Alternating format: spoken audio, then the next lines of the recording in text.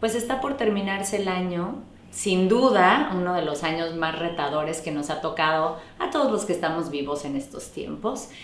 Y me doy cuenta que muchas personas se están enfocando en todo lo que no funcionó este año. Y no es debatible. El año sucked, ¿no? O sea, entre pues una crisis de salud, entre muchas pérdidas humanas, económicas, eh, negocios que se fueron a la quiebra, escuelas que ya no están siendo en presencial, sino que están siendo, o sea, está siendo un caos. Creo que esa parte no la necesitamos ni que hablar. Pero a veces me, me gusta como hablar y enfocarnos en lo que sí aprendimos, en lo que sí funcionó.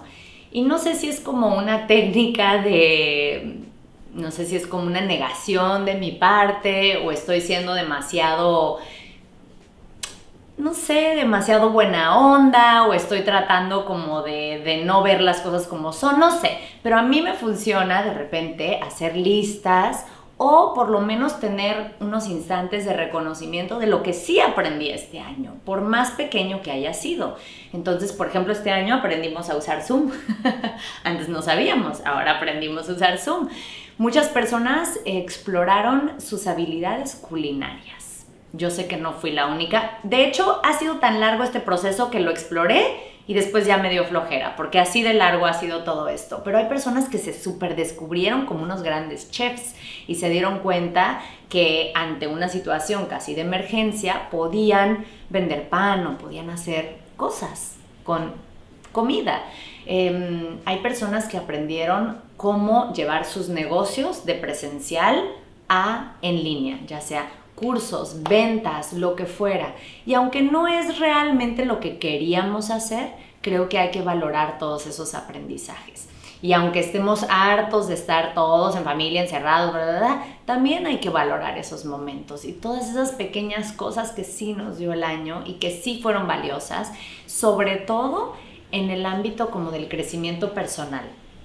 Yo este año aprendí a soltar, Creo que muchas personas aprendimos eso, a que es importante hacer planes, pero no ser demasiado rígido o no tener demasiadas expectativas a tus planes, porque quizá la vida te cambie el plan y entonces si estás en la rigidez así como muy cuadrada, pues tal vez te la vas a pasar mal y es mejor como ser un poquito más flexible.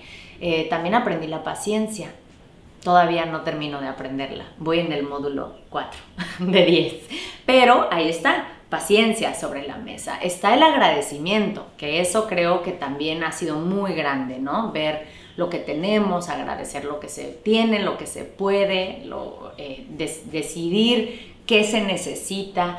O sea, han habido cosas grandes, han habido parejas que se han unido más que nunca, han habido parejas que se han separado, pero creo que incluso eso es para bien. O sea, incluso eso es pensando que se llegó a una conclusión, a que realmente al estar en contacto contigo, conmigo, nos dimos cuenta de algo. Entonces, valoremos los aprendizajes en lugar de solamente decir, este año fue el peor de mi vida, no puedo creer que existió. Como, ok, las cosas no salieron como pensé. Sí hubo momentos bien retadores y bien difíciles para cada persona en diferente nivel. Pero también aquí estamos y nos tocó vivirlo por algo. Y entonces, ¿cuáles son los aprendizajes? ¿Qué parte de mí es una mejor persona a partir de haber tenido esta experiencia. Y por lo menos yo con eso me quedo. Yo ya les compartí cuáles fueron mis aprendizajes, eh, cuáles han sido los suyos. Me encanta cuando ponen ahí en los comentarios y podemos también como interactuar un poquito más. Entonces, por favor, ustedes qué han aprendido en este año.